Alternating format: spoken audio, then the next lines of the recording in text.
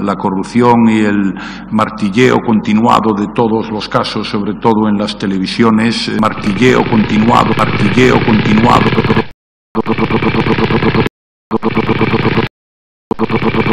Nos ha hecho daño.